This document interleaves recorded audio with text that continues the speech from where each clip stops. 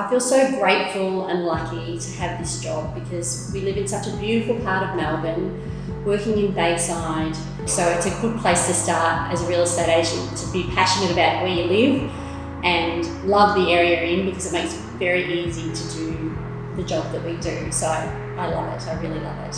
I think one of my greatest assets is my ability to connect with people. So I can connect with people from all walks of life and which is a powerful asset I think to have as an agent because it's about connecting with your vendors. I think my vendors know that I, hand on heart that I'm 100% in this for them.